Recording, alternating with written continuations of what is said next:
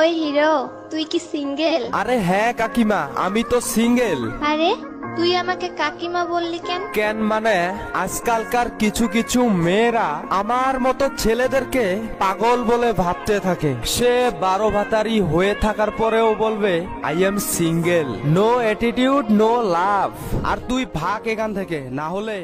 মারবো এক লাভ